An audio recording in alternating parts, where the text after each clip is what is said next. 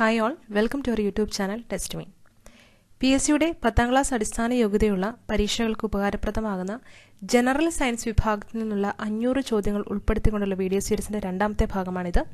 നോക്കാം ഈ ഒരു വീഡിയോയിൽ ഉൾപ്പെടുത്തിയിരിക്കുന്ന ചോദ്യങ്ങൾ. ഒന്നാമത്തെ ചോദ്യം ആദ്യമായി സിമന്റ് കണ്ടുപിടിച്ചത് ആര്? ഉത്തരം ജോസഫ് ആസ്പിഡിൻ. ആദ്യമായി സിമന്റ് കണ്ടുപിടിച്ചത് ജോസഫ് ആസ്പിഡിൻ ആണ് സിമന്റുമായി ബന്ധപ്പെട്ട് ചോദിക്കാൻ സാധ്യതയുള്ള മറ്റൊരു ചോദ്യം എന്ന് പറയുന്നത് സിമന്റിന്റെ സെറ്റിംഗ് ടൈം നീട്ടാനായിട്ട് ഉപയോഗിക്കുന്ന വസ്തു ഏതാണെന്നാണ്. അത് ജിപ്സമാണ്. സിമന്റിന്റെ സെറ്റിംഗ് ടൈം നീട്ടാനായിട്ട് സാധിക്കുന്നു ജിപ്സം ആഡ് ചെയ്യുമ്പോൾ. അതൊന്ന് ഓർത്തിരിക്കുക. അടുത്ത ചോദ്യം നോക്കാം. ആവർത്തന പട്ടികയിലെ നൂറാമത്തെ മൂലകം ഏത്? ഉത്തരം ഫെർമിയമാണ്. ആവർത്തന പട്ടികയിലെ പീരിയോഡിക് ടേബിളിലെ നൂറാമത്തെ എലമെന്റ് എന്ന് പറയുന്നത് ഫെർമിയമാണ്. പീരിയോഡിക് ടേബിളുമായിട്ട് ബന്ധപ്പെട്ട് ചോദിക്കാൻ സാധ്യതയുള്ള മറ്റൊരു ചോദ്യം ഏറ്റവും പ്രധാനപ്പെട്ടത് പീരിയോഡിക് ടേബിളിന്റെ പിതാവ് ആര് എന്നുള്ളതാണ്. അത് മെന്റലീവാണ് അതുപോലെ തന്നെ ഓർത്തിരിക്കുക ആധുനിക പീരിയോഡിക് ടേബിളിന്റെ പിതാവ് ആരെന്ന് ചോദിക്കുകയാണെങ്കിൽ അവിടെ ഉത്തരം മോസ്ലിയാണ് പീരിയോഡിക് ടേബിളിന്റെ പിതാവ് എന്ന് പറയുന്നത് മെന്റലീവും ആധുനിക പീരിയോഡിക് ടേബിളിന്റെ പിതാവ് എന്ന് പറയുന്നത് മോസ്ലിയുമാണ്. അതുപോലെ ആവർത്തന പട്ടികയിലെ നൂറാമത്തെ മൂലകം ഫെർമിയ. അടുത്ത ചോദ്യം. പഞ്ചസാരയിൽ അടങ്ങിയിരിക്കുന്ന സംയുക്തം ഏത്? ഉത്തരം കാർബോഹൈഡ്രേറ്റ് ആണ്. പഞ്ചസാരയിൽ അടങ്ങിയിരിക്കുന്ന സംയുക്തം കാർബോഹൈഡ്രേറ്റ് വോട്ടിംഗ് സമയത്ത് നഖത്തിൽ പുരട്ടുന്ന മഷി രാസപരമായി എന്താണ്? സിൽവർ നൈട്രേറ്റ് വോട്ടിംഗ് സമയത്ത് നഖത്തിൽ പുരട്ടുന്ന മഷി രാസപരമായി സിൽവർ നൈട്രേറ്റ് ആണ്. ഇനി നമുക്ക് ഓർത്തിരിക്കാം. സിൽവർ ബ്രോമൈഡ് എന്ന് പറയുന്നത് ഫോട്ടോഗ്രാഫിക് ഫിലിംസ് മാനുഫാക്ചറിങ്ങിന് വേണ്ടിയിട്ട് യൂസ് ചെയ്യുന്നതാണ് സിൽവർ ബ്രോമൈഡ് എന്ന് പറയുന്നത്. അതേസമയം സിൽവർ അയോഡൈഡ് ഉണ്ട്. അത് ആർട്ടിഫിഷ്യൽ റെയിൻ ക്രിയേറ്റ് ചെയ്യാനായിട്ട് ഉപയോഗിക്കുന്നതാണ് സിൽവർ അയോഡൈഡ് എന്ന് പറയുന്നത്. അത് ജസ്റ്റ് ഒന്ന് ഓർത്തിരിക്കുക. അടുത്ത ചോദ്യം നോക്കാം. ബ്ലീച്ചിങ് പൗഡർ കണ്ടുപിടിച്ചത് ആര്? ഉത്തരം ചാൾസ് ടെനന്റ് ബ്ലീച്ചിങ് പൗഡർ കണ്ടുപിടിച്ചത് Charles Tennant bleaching powder chemically calcium hypochlorite ആണ്. ഇതിന്റെ കെമിക്കൽ നെയിം എന്ന് പറയുന്നത് കാൽഷ്യം ഹൈപ്പോ ക്ലോറൈറ്റ് ആണ്. ഓർത്തിരിക്കുക. Bleaching powder calcium hypo hypochlorite ആണ്. അതുപോലെ തന്നെ ഇതിനോടനുബന്ധിച്ച് വേറെ ഒരു ഒന്ന് രണ്ടെണ്ണം ഓർത്തിരിക്കാം. അത് പലപ്പോഴും പി എസ് സിയുടെ ആണെങ്കിലും മറ്റ് ഇതുപോലെ ജി കെ ബേസ്ഡ് ചെയ്തിട്ടുള്ള എക്സാംസിൽ ചോദിച്ചു കണ്ടിട്ടുള്ളതാണ്. വാഷിംഗ് സോഡയുടെ കെമിക്കൽ നെയിം എന്താണെന്നുള്ളത്. വാഷിംഗ് സോഡ എന്ന് പറയുന്നതിന്റെ കെമിക്കൽ നെയിം എന്ന് പറയുന്നത് സോഡിയം കാർബണേറ്റ് ആണ്. അതുപോലെ ബേക്കിംഗ് സോഡയുടെ കെമിക്കൽ നെയിം ചോദിക്കാറുണ്ട്. അത് സോഡിയം ബൈകാർബണേറ്റ് ആണ്.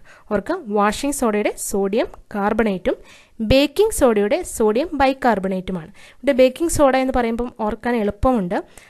ബേക്കിംഗ് സോഡയുടെ ആ ഒരു ബി ഓർത്തിരിക്കുക. അപ്പം അതിന്റെ ആൻസറിൽ സോഡിയം ബൈകാർബണേറ്റ് ബൈകാർബണേറ്റ് ബി വെച്ചിട്ടായിരിക്കും സ്റ്റാർട്ട് ചെയ്യുക. ബൈകാർബണേറ്റ് എന്നുള്ള സംഭവം. വാഷിംഗ് സോഡ ആണെങ്കിൽ ആ ഒരു ബിയുടെ കാര്യം അങ്ങ് വിട്ടേക്ക്. സോഡിയം കാർബണേറ്റ് ആയിരിക്കും. പുറത്തേക്ക് വാഷിംഗ് സോഡ എന്ന് പറഞ്ഞാൽ സോഡിയം കാർബണേറ്റ് ആണ്. ബേക്കിംഗ് സോഡ എന്ന് പറഞ്ഞാൽ സോഡിയം ബൈകാർബണേറ്റ് ആണ്. ഇത് പലപ്പോഴും പല എക്സാമിനും എടുത്തെടുത്ത് ചോദിച്ചിട്ടുള്ള ക്വസ്റ്റൻ ആണ്. അതുകൊണ്ടാണ് റിപ്പീറ്റ് ചെയ്ത് പറഞ്ഞത്. അടുത്ത ചോദ്യം നോക്കാം. അന്തരീക്ഷ മർദ്ദം അളക്കാൻ ഉപയോഗിക്കുന്ന ഉപകരണം. ഉത്തരം ബാരോമീറ്റർ അന്തരീക്ഷ മർദ്ദം. അറ്റ്മോസ്ഫറിക് പ്രഷർ അളക്കാനായിട്ട് ഉപയോഗിക്കുന്ന ഉപകരണം ബാരോമീറ്റർ ആണ്. അതേസമയം ഗ്യാസിന്റെ പ്രഷർ മെഷർ ചെയ്യാനായിട്ട് ഉപയോഗിക്കുന്ന ഉപകരണം ഏതാണെന്ന് ചോദിക്കുന്നതെങ്കിൽ അവിടെ മാനോമീറ്ററാണ് ഉത്തരമായിട്ട് വരിക.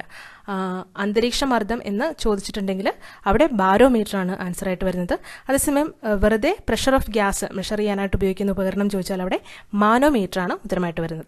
അടുത്ത നോക്കാം. മനുഷ്യൻ ആദ്യമായി ഉപയോഗിച്ച ലോഹം ഏത്? ഉത്തരം ചെമ്പാണ്. കോപ്പർ. കോപ്പറാണ് ചെമ്പ്. മനുഷ്യൻ ആദ്യമായി ഉപയോഗിച്ച ലോഹം ചെമ്പ് ആണ്. അപ്പം ഇതിനോടനുബന്ധിച്ച് നമുക്ക് പഠിച്ചു വയ്ക്കാം രണ്ട് അലോയി അലോയി ആണുള്ളത് അതായത് ഒന്ന് ബ്രോൺസും ഒന്ന് ബ്രാസും. ബ്രോൺസ് എന്ന് പറയുന്നത് കോപ്പറിന്റെയും ടിന്നിന്റെയും കൂടെ സംയുക്തമാണ്. കോപ്പറിന്റെയും ടിന്നിന്റെയും കൂടെ ഒരു സംയുക്തമാണ്. ബ്രോൺസ് എന്ന് പറയുന്നത് അതേസമയം ബ്രാസ് എന്ന് പറയുന്നത് കോപ്പറിന്റെയും സിങ്കിന്റെയും കൂടെ ഒരു സംയുക്തമാണ്. അപ്പോൾ ഓർത്തിരിക്കുക ബ്രോൺസ് എന്ന് പറയുന്നത് കോപ്പർ പ്ലസ് ടിന്നാണ്. ബ്രാസ് എന്ന് പറയുന്നത് കോപ്പർ പ്ലസ് സിങ്ക് ആണ് മനുഷ്യൻ ആദ്യമായി ഉപയോഗിച്ച ലോഹം എന്ന് പറയുന്നത് ചെമ്പ് കോപ്പറാണ്. അതും കൂടി ഓർത്തിരിക്കുക. അടുത്ത ചോദ്യം. ബാറ്ററികളിൽ സാധാരണയായി ഉപയോഗിക്കുന്ന ആസിഡ് സൾഫ്യൂരിക് ആസിഡ്. ബാറ്ററികളിൽ സാധാരണയായി ഉപയോഗിക്കുന്ന acid sulphuric ആസിഡാണ്. H two S O four എന്നതാണ് അതിന്റെ കെമിക്കൽ ഫോർമുല. ഈ സൾഫ്യൂരിക് ആസിഡിനെ കുറിച്ച് നമ്മൾ ഇതിന് മുമ്പിലത്തെ വീഡിയോയിൽ കണ്ടിരുന്നു. എന്താണ്? കിങ് ഓഫ് ആസിഡ്സ് എന്ന് പറയുന്നതാണ് സൾഫ്യൂരിക് ആസിഡ്. അതും കൂടി ഒന്ന് ഓർത്തിരിക്കാം. അടുത്ത ചോദ്യം. ഏറ്റവും ശുദ്ധമായ ജലസ്രോതസ് ഏതാണ്? ഉത്തരം മഴവെള്ളം. ഏറ്റവും ശുദ്ധമായ ജലസ്രോതസ് മഴവെള്ളം. അടുത്ത ചോദ്യം. അന്തരീക്ഷ വായുവിലെ പ്രധാന ഘടകം. നൈട്രജൻ ആണ് ഉത്തരം. അന്തരീക്ഷ വായുവിലെ അറ്റ്മോസ്ഫിയറിൽ അറ്റ്മോസ്ഫിയറിൽ ഏറ്റവും അധികമായിട്ടുള്ള ഘടകം ഏതെന്ന് ചോദിക്കാൻ അവിടെ. നൈട്രജൻ ആണ് ഉത്തരം വരുന്നത്. അപ്പോൾ ഇതിനോടനുബന്ധിച്ച് നമുക്ക് ഓർത്തിരിക്കാനായിട്ടുള്ളത്. യൂണിവേഴ്സ് മൊത്തത്തിൽ എടുക്കുകയാണെങ്കിൽ അവിടെ മോസ്റ്റ് അബഡന്റ് ആയിട്ടുള്ള ഏറ്റവും അധികമായിട്ടുള്ള അല്ലെങ്കിൽ അതിന്റെ ഏറ്റവും പ്രധാനമായിട്ടുള്ള ഘടകം എന്ന് പറയുന്നത് ഹൈഡ്രജൻ ആണ്. യൂണിവേഴ്സിനെ മുഴുവനായിട്ട് കൺസിഡർ ചെയ്യുകയാണെങ്കിൽ അവിടെ ഏറ്റവും അധികമായിട്ടുള്ള ഘടകം എന്ന് പറയുന്നത് ഹൈഡ്രജൻ ആണ്. അതേസമയം അറ്റ്മോസ്ഫിയറിനെ മാത്രം അന്തരീക്ഷ വായുവിനെ കൺസിഡർ ചെയ്യുവാണെങ്കിൽ അവിടെ ഏറ്റവും അധികമായിട്ടുള്ളതെന്ന് പറയുന്നത് നൈട്രജൻ ആണ്. ഇനി ഒന്നും കൂടെ ഓർത്തിരിക്കാനുള്ളത് എർത്തിന്റെ ക്രസ്റ്റിൽ നോക്കുകയാണെങ്കിൽ അവിടെ ഏറ്റവും അധികമായിട്ടുള്ള ഘടകം എന്ന് പറയുന്നത് ഓക്സിജൻ ആണ്. അപ്പോൾ ഇത്രയും കാര്യങ്ങൾ അവിടെ ഒന്ന് ജസ്റ്റ് ഓർത്തിരിക്കുക. എച്ച് എൻ ഒ എന്നങ്ങ് ഓർത്തിരുന്നാൽ മതി. ആദ്യമേ യൂണിവേഴ്സിൽ തുടങ്ങുക. അവിടെ ഹൈഡ്രജൻ ആണ്. പിന്നെ അറ്റ്മോസ്ഫിയറിലേക്ക് വരുമ്പോൾ അവിടെ നൈട്രജൻ ആണുള്ളത്.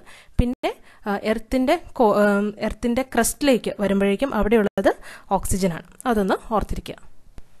അടുത്ത ചോദ്യം. കണ്ണുകളുടെ ആരോഗ്യകരമായ പ്രവർത്തനത്തിന് ആവശ്യമായ വിറ്റാമിൻ വിറ്റാമിൻ എ കണ്ണുകളുടെ ആരോഗ്യകരമായ പ്രവർത്തനത്തിന് ആവശ്യമായ വിറ്റാമിൻ ആണ്. വിറ്റാമിൻ എ വിറ്റാമിൻ എയുടെ ഡെഫിഷ്യൻസി കൊണ്ട് ഉണ്ടാകുന്ന രോഗങ്ങൾ ചോദിക്കാറുണ്ട്. അവിടെ ഓർത്തെടുക്കുക സിറോഫ് താൽമിയ അതുപോലെ നിശാന്തത നൈറ്റ് ബ്ലൈൻഡ്നെസ് എന്ന് പറയും. അപ്പം വൈറ്റമിൻ എയുടെ ഡെഫിഷ്യൻസി കൊണ്ടുണ്ടാകുന്ന രോഗങ്ങൾ ഓർത്തിരിക്കുക സെറോഫ് താൽമിയ അതുപോലെ നിശാന്തത. ഇനി നമ്മൾ പറഞ്ഞു വൈറ്റമിൻ എ കണ്ണുകളുടെ ആരോഗ്യകരമായ പ്രവർത്തനത്തിന് ആവശ്യമാണെന്ന്. അപ്പോൾ അതിനാൽ തന്നെ വൈറ്റമിൻ എക്കുള്ള മറ്റൊരു പേരാണ് റെറ്റിനോൾ അപ്പോൾ റെറ്റിനോൾ എന്ന പേരിൽ അറിയപ്പെടുന്ന വൈറ്റമിൻ ഏതെന്ന് ചോദിക്കുവാണെങ്കിൽ അവിടെയും ഉത്തരം വരുന്നത് വൈറ്റമിൻ എ ആണ്. അടുത്ത ചോദ്യം നോക്കാം. ഭക്ഷണത്തിൽ ഇരുമ്പിന്റെ കുറവ് മൂലമുണ്ടാകുന്ന രോഗമാണ് അനീമിയ. ഭക്ഷണത്തിൽ ഇരുമ്പിന്റെ കുറവ് മൂലമുണ്ടാകുന്ന രോഗമാണ് അനീമിയ. വിളർച്ച എന്ന് പറയുന്നത് തന്നെയാണ് അനീമിയ. അടുത്ത നോക്കാം. കടലിലെ ദൂരം അളക്കുന്ന യൂണിറ്റ്. Nautical mile. കടലിലെ ദൂരം അളക്കുന്ന യൂണിറ്റാണ് നോട്ടിക് മൈൽ. ആയിരത്തി എണ്ണൂറ്റി അൻപത്തി രണ്ട് മീറ്റർ ആണ് ഒരു നോട്ടിക് മൈൽ എന്ന് പറയുന്നത്. അടുത്ത ചോദ്യം. മാഞ്ചിഫെറ ഇൻഡിക്ക എന്ന ശാസ്ത്ര നാമമുള്ള സസ്യമേത് ഉത്തരം മാവാണ്. മാഞ്ചിഫെറ ഇൻഡിക്ക എന്നത് മാവിന്റെ ശാസ്ത്രീയ നാമമാണ്. അടുത്ത നോക്കാം. ശാസ്ത്രീയമായി മുന്തിരി കൃഷി ചെയ്യുന്ന രീതി. വിറ്റിക്കൾച്ചർ. ശാസ്ത്രീയമായി മുന്തിരി കൃഷി ചെയ്യുന്ന രീതിക്ക് പറയുന്ന പേരാണ് വിറ്റിക്കൾച്ചർ അടുത്ത ചോദ്യം നോക്കാം. ചുവന്നുള്ളിയിൽ അടങ്ങിയിരിക്കുന്ന ആസിഡ്. ഉത്തരം സൾഫെനിക് ആസിഡ്. ചുവന്നുള്ളിയിൽ അടങ്ങിയിരിക്കുന്ന ആസിഡ് സൾഫെനിക് ആസിഡ്. ഹെപ്പറ്റൈറ്റിസ് ശരീരത്തിന്റെ ഏത് ഭാഗത്തെ ബാധിക്കുന്ന രോഗമാണ്? ഉത്തരം കരൾ. കരളിനെ ബാധിക്കുന്ന ഒരു രോഗമാണ് ഹെപ്പറ്റൈറ്റിസ്. കരളിനെ ബാധിക്കുന്ന മറ്റു രോഗങ്ങൾ നോക്കാം. ജോണ്ടിസ് ഉണ്ട്. ജോണ്ടിസ് എന്ന് പറയുന്നത് മഞ്ഞപ്പിത്തമാണ്. അതുപോലെ സിറോസിസ് ലിവർ സിറോസിസ് എന്ന് കേട്ടിട്ടുണ്ടാവും. അപ്പം ആ ഒരു സിറോസിസ് എന്ന് പറയുന്ന രോഗവും കരളിനെ ബാധിക്കുന്ന രോഗമാണ്. അപ്പം നമ്മൾ പറഞ്ഞു ഹെപ്പറ്റൈറ്റിസ് മഞ്ഞപ്പിത്തം പിന്നെ സിറോസിസ് ഇവ മൂന്നും കരളിനെ ബാധിക്കുന്ന രോഗമാണ്. കരളുമായിട്ട് ബന്ധപ്പെട്ട് ചോദിക്കാറുള്ള മറ്റ് ചോദ്യങ്ങൾ നോക്കാം. ഒന്നാമതായിട്ടുള്ളത് ശരീര ശരീരത്തിനുള്ളിലെ ഏറ്റവും വലിയ ആന്തരിക അവയവം ഏത് എന്നുള്ളതാണ്. അത് കരളാണ്. അതുപോലെ ഏറ്റവും വലിയ ഗ്രന്ഥി ഗ്രന്ഥി എന്ന് ചോദിച്ചാൽ അവിടെയും ഉത്തരം കരൾ തന്നെയാണ്. പിന്നെ ചോദിക്കാറുള്ളതാണ് വിഷവസ്തുക്കളെ നിർവീര്യമാക്കുന്നത് എവിടെയെന്നുള്ളത്. ശരീരത്തിന് ശരീരത്തിൽ വിഷവസ്തുക്കളെ നിർവീര്യമാക്കുന്നത് ഏത് അവയവമാണ് എന്ന് ചോദിച്ചാൽ അവിടെ കരളാണ് ഉത്തരം വരുന്നത്. അതുപോലെ ശരീരത്തിൽ യൂറിയ നിർമ്മാണം നടക്കുന്നത് എവിടെയെന്ന് ചോദിക്കുമ്പോഴും അവിടെയും ഉത്തരം വരുന്നത് കരളാണ്. അപ്പോൾ ഇത്രയും കാര്യങ്ങളൊന്നും അവിടെ ഓർത്തിരിക്കാം അടുത്ത ചോദ്യം നോക്കാം. ഈർപ്പം അളക്കുന്നതിനുള്ള ഉപകരണം. ഉത്തരം ഹൈഗ്രോമീറ്റർ ആണ് ഈർപ്പം അളക്കുന്നതിനുള്ള ഉപകരണം. ഹ്യൂമിഡിറ്റി മെഷർ ചെയ്യുന്നതിനുള്ള ഉപകരണമാണ് ഹൈഗ്രോമീറ്റർ. അടുത്ത ചോദ്യം. ചില പദാർത്ഥങ്ങളെ ചൂടാക്കുമ്പോൾ ദ്രാവകമാകാതെ നേരിട്ട് വാതകമായി മാറുന്നു. ഈ പ്രക്രിയ ഏത് പേരിൽ അറിയപ്പെടുന്നു? ഉത്പാദനം. സബ്ലിമേഷൻ എന്നാണ് ഇംഗ്ലീഷിൽ പറയുന്നത്. ചില പദാർത്ഥങ്ങൾ ചൂടാക്കുമ്പോൾ അത് ദ്രാവകമായിട്ട് മാറാതെ നേരിട്ട് വാതകമായിട്ട് നീരാവി പോലെ ആയിട്ട് അത് മാറി മാറുന്ന ആ ഒരു പ്രക്രിയയ്ക്ക് പറയുന്ന പേരാണ് ഉത്പാദനം അഥവാ സബ്ലിമേഷൻ ഇപ്പോൾ ഉദാഹരണത്തിന് കർപ്പൂരം ഒക്കെ നമ്മൾ എടുക്കുകയാണെങ്കിൽ അത് നേരിട്ട് ആവിയായി പോവുക ചെയ്യുന്നത് അല്ലേ? അപ്പം അതുപോലെ നാഫ്തലിൻ ബോൾ അതൊക്കെ സബ്ലിമേഷനാണ് നടക്കുന്നത്. അപ്പോൾ അതാണ് അതിന്റെ എക്സാമ്പിൾ ആയിട്ടൊന്ന് ഓർത്തിരിക്കാനുള്ളത്. അടുത്ത ചോദ്യം നോക്കാം. ഹൃദയത്തെ ആവരണം ചെയ്തിരിക്കുന്ന ഇരട്ട സ്ഥലം. പെരികാർഡിയം.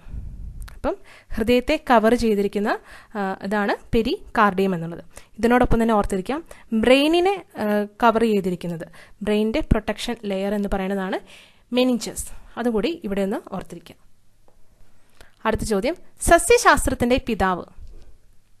തിയോഫ്രാസ്റ്റസ് സസ്യശാസ്ത്രം ബോട്ടണിയുടെ പിതാവാണ് തിയോഫ്രാസ്റ്റസ് അതേസമയം ബയോളജി അല്ലെങ്കിൽ സുവോളജിയുടെ ബയോളജിയുടെയും സുവോളജിയുടെയും പിതാവ് ആരെന്ന് ചോദിക്കുകയാണെങ്കിൽ അവിടെ അരിസ്റ്റോട്ടിലാണ് ഉത്തരം വരുന്നത്. ബയോളജിയുടെ പിതാവും അരിസ്റ്റോട്ടിലാണ് സുവോളജിയുടെ പിതാവും അരിസ്റ്റോട്ടിലാണ്. അതേസമയം ബോട്ടണിയുടെ പിതാവ് തിയോ ഫ്രാസ്റ്റസ് ആണ്. അത് ജസ്റ്റ് ഒന്ന് ഓർത്തിരിക്കും.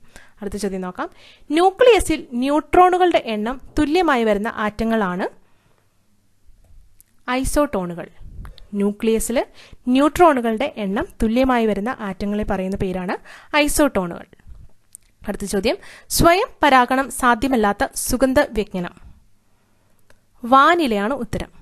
സ്വയം പരാഗണം സാധ്യമല്ലാത്ത സുഗന്ധ വ്യജ്ഞനം വാനില. അടുത്ത ചോദ്യം നോക്കാം. മുട്ടുചിരട്ടയുടെ ശാസ്ത്രീയ നാമം. പാറ്റല്ല. മുട്ടുചിരട്ടയുടെ ശാസ്ത്രീയ നാമം പാറ്റല്ല. അടുത്ത ചോദ്യം നോക്കാം. ആഗ്നേയ ഗ്രന്ഥിയുടെ തകരാറ് മൂലമുണ്ടാകുന്ന രോഗം. പ്രമേഹമാണ്. ആഗ്നേയ ഗ്രന്ഥി പാൻക്രിയാസ് ആണ് അതിന്റെ തകരാറ് മൂലം ഉണ്ടാകുന്ന രോഗം പ്രമേഹം. ഇത്രയും ചോദ്യങ്ങളാണ് ഈ ഒരു വീഡിയോയിൽ ഉൾപ്പെടുത്തിയിരിക്കുന്നത്. നമ്മൾ ഇതുവരെ പഠിച്ച ചോദ്യങ്ങൾ വേഗമൊന്ന് റിവൈസ് ചെയ്ത് നോക്കാം. ആദ്യമായി സിമന്റ് കണ്ടുപിടിച്ചത് ആര്? ജോസഫ് ആസ്പിഡിൻ ആവർത്തന പട്ടികയിലെ നൂറാമത്തെ മൂലകം ഏത്? ഫെർമിയം. പഞ്ചസാരയിൽ അടങ്ങിയിരിക്കുന്ന സംയുക്തം ഏത്? കാർബോഹൈഡ്രേറ്റ്. വോട്ടിംഗ് സമയത്ത് നഖത്തിൽ പുരട്ടുന്ന മഷി രാസപരമായി എന്താണ്? Silver nitrate. Bleaching powder കണ്ടുപിടിച്ചതാര്? Charles Tennant.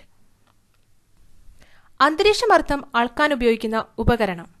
Barometer. മനുഷ്യൻ ആദ്യമായി ഉപയോഗിച്ച ലോഹം. ചെമ്പ്. ബാറ്ററികളിൽ സാധാരണയായി ഉപയോഗിക്കുന്ന ആസിഡ്. Sulphuric acid. ഏറ്റവും ശുദ്ധമായ ജലസ്രോതസ് ഏതാണ്? മഴവെള്ളം. അന്തരീക്ഷ വായുവിലെ പ്രധാന ഘടകം. നൈട്രജൻ. കണ്ണുകളുടെ ആരോഗ്യകരമായ പ്രവർത്തനത്തിന് ആവശ്യമായ വിറ്റാമിൻ വിറ്റാമിൻ എ. ഭക്ഷണത്തിൽ ഇരുമ്പിന്റെ കുറവ് മൂലമുണ്ടാകുന്ന രോഗമാണ് അനീമിയ. കടലിലെ ദൂരമളക്കുന്ന unit nautical mile. Mangifera indica എന്ന ശാസ്ത്രനാമമുള്ള സസ്യമേത് മാവ്. ശാസ്ത്രീയമായി മുന്തിരി കൃഷി ചെയ്യുന്ന രീതി. വിറ്റികൾച്ചർ. ചുവന്നുള്ളിയിൽ അടങ്ങിയിരിക്കുന്ന ആസിഡ് സൾഫനിക് ആസിഡ് ഹെപ്പറ്റൈറ്റിസ് ശരീരത്തിന്റെ ഏത് ഭാഗത്തെ ബാധിക്കുന്ന രോഗമാണ്? കരൾ ഈർപ്പം അളക്കുന്നതിനുള്ള ഉപകരണം ഹൈഗ്രോമീറ്റർ. ചില പദാർത്ഥങ്ങളെ ചൂടാക്കുമ്പോൾ ദ്രാവകമാകാതെ നേരിട്ട് വാതകമായി മാറുന്നു. ഈ പ്രക്രിയ ഏതു പേരിൽ അറിയപ്പെടുന്നു? ഉത്പാദനം. ഹൃദയത്തെ ആവരണം ചെയ്തിരിക്കുന്ന ഇരട്ടസ്ഥരം പെരികാർഡിയം. സസ്യശാസ്ത്രത്തിന്റെ പിതാവ്. തിയോഫ്രാസ്റ്റസ്. ന്യൂക്ലിയസിൽ ന്യൂട്രോണുകളുടെ എണ്ണം തുല്യമായി വരുന്ന ആറ്റങ്ങളാണ് ഐസോട്ടോൺ സ്വയം പരാഗണം സാധ്യമല്ലാത്ത സുഗന്ധവ്യജ്ഞനം വാനില മുട്ടുചുരുട്ടിയുടെ ശാസ്ത്രീയ നാമം പാറ്റല്ല ആഗ്നേയ ഗ്രന്ഥിയുടെ തകരാറ് മൂലമുണ്ടാകുന്ന രോഗം പ്രമേഹം. ഇത്രയും ചോദ്യങ്ങളാണ് ഈ ഒരു വീഡിയോയിൽ നമ്മൾ ഉൾപ്പെടുത്തിയിരിക്കുന്നത്. നിങ്ങൾക്ക് ഉപകാരപ്രദമായെന്ന് വിശ്വസിക്കുന്നു. ഇഷ്ടമായെങ്കിൽ തീർച്ചയായും ലൈക്ക് ചെയ്യുക നിങ്ങളുടെ ഫ്രണ്ട്സിനെ ഷെയർ ചെയ്ത് കൊടുക്കുക. ഒപ്പം തന്നെ നിങ്ങളുടെ അഭിപ്രായങ്ങളും നിർദ്ദേശങ്ങളും താഴെ കമന്റ് ബോക്സിൽ രേഖപ്പെടുത്തുകയും ചെയ്യാം. മറ്റൊരു വീഡിയോയുമായി കണ്ടുമുട്ടും വരേക്കും. Thank you take care